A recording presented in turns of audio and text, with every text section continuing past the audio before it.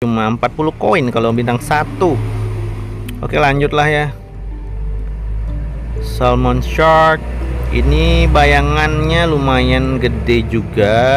Mungkin fish. Oh mungkin fish lagi. Mungkin rare fish. Bener guys. Berturut-turut anjing.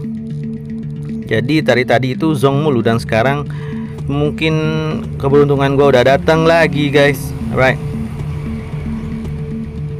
Fokus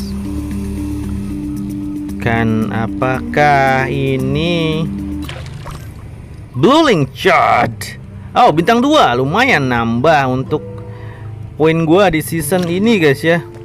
Alright. Let's get another fish. Another rare fish. Let's get another one. Kita cari lagi guys. Masih tiga empat lah termasuk ini ya. Standar baitnya yang bisa gue gunakan